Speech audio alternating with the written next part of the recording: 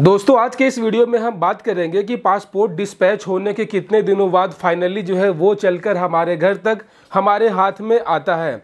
दोस्तों पासपोर्ट की जो प्रक्रिया है, वो थोड़ी सी लंबी है। यहाँ पे अप्लीकेशन अपॉइंटमेंट पुलिस वेरिफिकेशन उसके बाद फाइनली जब सारी प्रोसेस जो है, वो कंप्लीट हो जाती है, उसके बाद जो है, आपका पासपोर्ट जो है, वो प्रिंटिंग के लिए चला जाता है। और जैसे ही वहाँ से डिस्पैच होता है, आपको एसएमएस या फिर ईमेल के माध्यम से उसकी सूचना दी जाती है। अगर आपने एसएमएस वाली सुविधा ले रखी है, पचास रुपये देकर तो आपको टाइम टू टाइम जो है एसएमएस के द्वारा जो है, आपको सारी इन्फॉर्मेशन दे दी जाती है। ऐसे में दोस्तों, जैसे ही आपका पासपोर्ट डिस्पैच का एसएमएस आता है मेल आता है तो एक एक्साइटमेंट जो है वो अपने आप बढ़ जाती है। और नो डाउट पासपोर्ट बनवाने में हम सभी काफ़ी ज़्यादा एक्साइटेड रहते हैं। आखिरकार एक लंबे प्रोसेस के बाद हम सभी चाहते हैं कि जितनी जल्दी से जल्दी जो है वो पासपोर्ट बनकर हमारा, हमारे घर पे कब आएगा। ऐसे में दोस्तों क्यूरियसिटी जो है वो थोड़ी सी बढ़ जाती है, वो काफ़ी ज़्यादा एक बेचैनी हो जाती है, लोगों के मन में उत्सुकता रहती है कि यार मुझे एसएमएस तो आ चुका है डिस्पैच का। अब जो है मेरे घर तक डाकिया जो है पोस्टमैन वो कब तक लेकर आएगा? दोस्तों, मैं यहाँ पे आपको बता दूँ कि जो भी हमारा पासपोर्ट होता है, वो भारत सरकार का जो सरकारी डाक सेवा है इंडिया पोस्ट उसके थ्रू आता है। इसके लिए किसी भी प्राइवेट कुरियर कंपनी का प्रयोग नहीं किया जाता है। तो ये आप स्पष्ट कर ले कि जो भी आपका पासपोर्ट आपके घर पे आएगा, वो इंडिया पोस्ट का पोस्टमैन ही लेकर आएगा। ये किसी कुरियर के थ्रू नहीं आता है। दूसरा आपको ध्यान रखने वाली बात है दोस्तों कि बहुत सारे लोग ये मिस्टेक करते हैं, लोग ये सोचते हैं कि जो पोस्टमैन है वो घर पे आने से पहले आपको कॉल करेगा। जबकि मैं आपको बता दूँ कि यहाँ पे ऐसी कोई भी सुविधा नहीं है और वो चाह कर भी आपको कॉल इसलिए नहीं कर सकता क्योंकि वो जो इन्वेलप होता है, जो लिफाफा होता है, जिसके अंदर आपका पासपोर्ट होता है, उस पर कोई भी फ़ोन नंबर नहीं होता है। वो सिर्फ़ और सिर्फ़ उस एड्रेस पे आएगा, जो एड्रेस वहाँ पे प्रिंटेड है, जो आपने अपने एप्लीकेशन में भरा था। तो मेक श्योर sure कि जब भी आपका पासपोर्ट वहाँ से डिस्पैच हो जाए, होने का एसएमएस आए तो आपको अपने घर पे ही रहना है, आपको अपने घर पे मौजूद रहना है, तभी जो है वो डाकिया आपको हैंड ओवर करेगा। किसी और इंसान को या फिर अगर घर आपका लॉक रहेगा तो वो वापस लेकर चला जाएगा और आपका जो पासपोर्ट है, वो रिटर्न हो जाएगा। तो ये छोटी छोटी बातें हैं जिसका आपको ध्यान रखना है, ये गलती आपको नहीं करना है, तभी जो है आप अपना पासपोर्ट जो है वो रिसीव कर पाएँगे। अब दोस्तों, यहाँ पे जो मेन हमारा टॉपिक है, वो बात कर लेते हैं कि हमारा जो पासपोर्ट डिस्पैच होने का जो एसएमएस है, मेल है, उसके कितने दिनों बाद फाइनली जो है मैं एक्सपेक्ट करूँ कि मेरे घर पर पासपोर्ट आएगा डाकिया लेकर। तो दोस्तों, यहाँ पे आपको चीज़ों को समझने के लिए थोड़ा सा आपका अपना जो जोग्राफिकल एरिया है वो आपको समझने की कोशिश करनी होगी। जोग्राफिकल एरिया मतलब कि आपका भौगोलिक स्थिति कि आप किस शहर में रह रहे हैं, आप किस गाँव में रह रहे हैं, या फिर आप उस राज्य की राजधानी में रह रहे हैं। ठीक है? तो यहाँ पे मैं आपको बताता चलूँ कि जो भी हमारा पासपोर्ट है, वो बनकर आता है आरपीओ से। आरपीओ मतलब कि रीजनल पासपोर्ट ऑफ़िस क्षेत्रीय पासपोर्ट कार्यालय, जो कि अमूमन आप सभी के राज्यों की राजधानी में होती है। अगर आप बिहार से हैं तो आपका जो पासपोर्ट है, वो पटना जो है, आरपीओ वहाँ से भेजा जाएगा। अगर आप झारखंड के कहीं से भी इलाके से हैं तो जो आपका पासपोर्ट है, वो झारखंड की राजधानी रांची, जहाँ पे आरपीओ रांची है, वहाँ से जाएगा।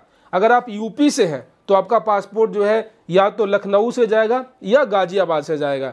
ठीक है तो इस तरीके से आपको समझना होगा कि जो भी आपका पासपोर्ट है वो आपके जो राज्य की राजधानी है, आरपीओ, वहाँ से भेजी जाती है। अब वहाँ पर यह बात आती है कि आपका, वहाँ आरपीओ से, आपका उस राज्य की राजधानी से आपका अपना जो एड्रेस है, उसकी दूरी कितनी है? अगर दोस्तों, अगर बिल्कुल सेम शहर है मतलब सेम शहर मतलब कि अगर आप पटना से ही हैं और आपका आरपीओ भी पटना में ही है तो अगर आज डिस्पैच का मैसेज आया है, ठीक है तो आपको जो है अगले दिन जो है शाम शाम तक रिसीव हो जाएगा एनी हाउ एक से दो दिन वहाँ पे नहीं होगा। ठीक है? वही अगर आप किसी दूसरे ज़िले से हैं, आप समझिए, अगर आप किसी दूसरे डिस्ट्रिक्ट से हैं और मेन आप डिस्ट्रिक्ट के टाउन में ही रहते हैं तो आपको दूसरे से तीसरे दिन आपको मिलेगा। पहले दिन आरपीओ से जो है आपका जो मेन सिटी है, वहाँ जाएगा और दूसरे दिन आपके मेन सिटी से आपके एड्रेस पे आएगा।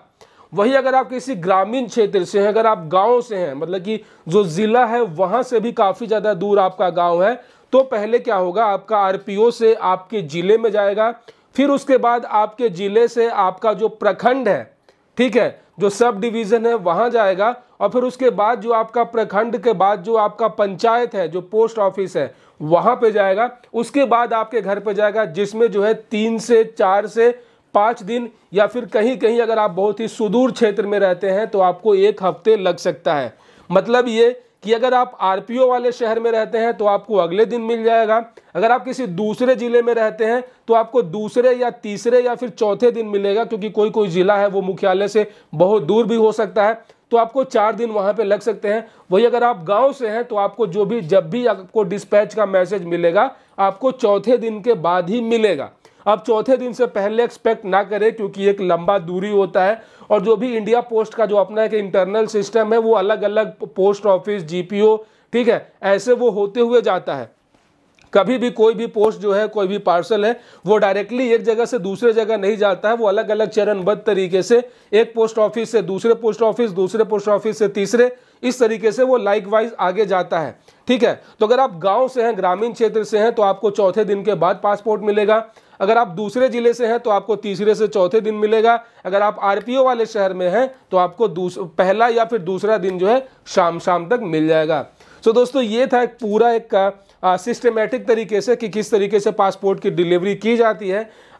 डिस्पैच का एसएमएस आने के बाद तो इसके लिए गाइज़ मैं आपको रिकमेंड करूँगा कि हमेशा जो है वो पचास रुपये देकर एसएमएस फैसिलिटी ले लेना चाहिए।